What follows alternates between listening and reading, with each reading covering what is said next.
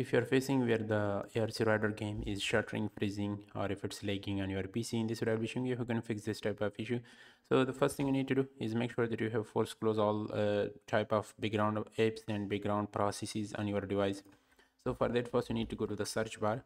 In the search bar you need to simply search for uh, background apps, open it and then here you need to simply toggle this option but if you have any important apps that you want to uh, remain running in your background then simply toggle this button then uh, leave that specific apps and then force close other background apps.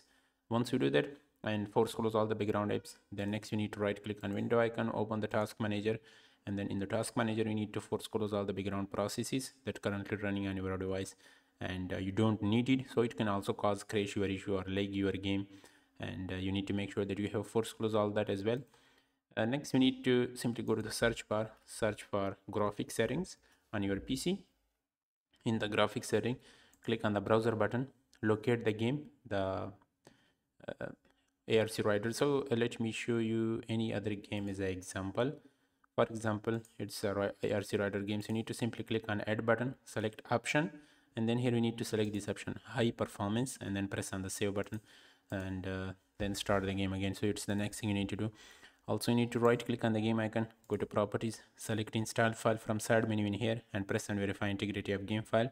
So when verification is complete then start the game again. Hope this will help you. If you have any other question you comment below. And uh, if none of these methods work for you then simply uninstall the game and then re-download it. Thanks for watching. See you in the next video